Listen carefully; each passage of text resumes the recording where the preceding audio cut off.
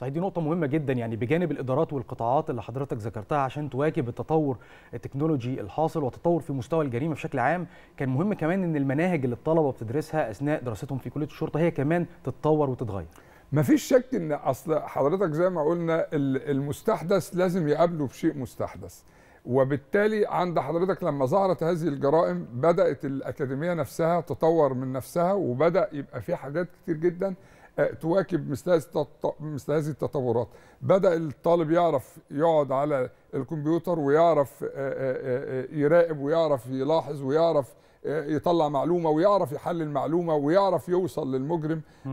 بالوسائل مش التقليدية بقى بالوسائل الحديثة اللي بتؤدي إلى الحد من هذه الجرائم. لأن أنا عايز أقول دايما ما فيش حاجة اسمها منع جريمه هو دايما بنحد من الجريمة. والحمد لله إحنا نسبة الحد من الإجرام عندنا عالية جدا يعني. إنما منع الجريمة لا هي الجريمة موجودة منذ نشأة الخليقة على الأرض. ما حدش يقدر يقول إن الجريمة هتمتنع بصفة أو بصورة مطلقة لكن إطلاقاً. معدلات الجريمة قلت كتير قلت كتير. حضرتك لو جبنا مثال جهاز الأمن الوطني في مصر الحمد لله جهاز متفوق جدا جدا. يمكن معظم الدول بتاخد التجربة المصرية دلوقتي وبتطبقها.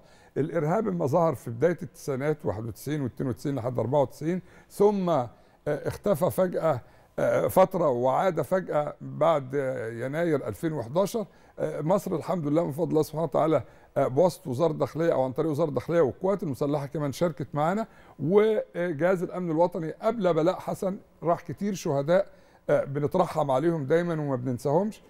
واجهوا هذه المشكلة ووضعوا استراتيجيات تناسب الوقت الراهن غير الاستراتيجيات اللي اتوضعت في بداية التسعينات لأن طبعا التطور الطبيعي للحياه بدأ هم نفسهم استخدامهم للسلاح اختلف.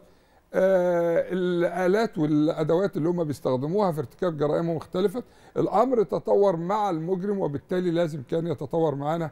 والحمد لله يمكن زي ما قلت وأشرت وبشير دايما لمجهود الأمن الوطني في مكافحة الجريمة الإرهابية وفي مكافحة الإجرام السياسي. لا الحمد لله عاملين شغل وعاملين مجهود الناس كلها بتتكلم عنه سواء في الداخل أو في الخارج.